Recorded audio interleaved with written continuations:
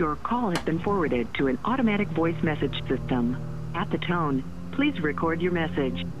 Hey, Dad. I know it's been a long time since we've talked.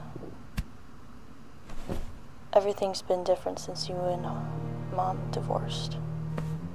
Sometimes I wish it never happened. Sometimes I look back at our memories with that old video camera that Mom always used to have around.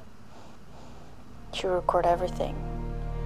Remember when she had her dance recital? The One where she was tapping the night away? She was really great. And we'd always watch her rehearse. Because what else were we supposed to do? But I have to put those memories away because they hurt sometimes. Have I said that I missed you? I don't know what to say anymore. I just wish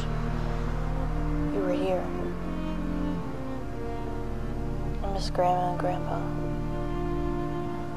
When they first came to visit Canada on my birthday, I was really excited to blow out those candles.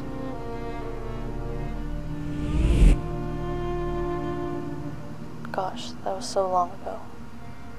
I do a lot of chores to keep myself distracted. I know it's been hard on both of you.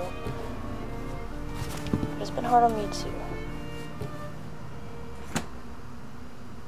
I don't like to think about it because I always see you guys together and see you guys with different people. It's just unimaginable.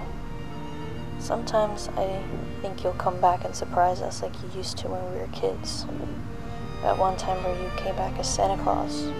I don't think that'll happen again. I don't know, Dad. I just. Sometimes I wish you were here. It's been so difficult.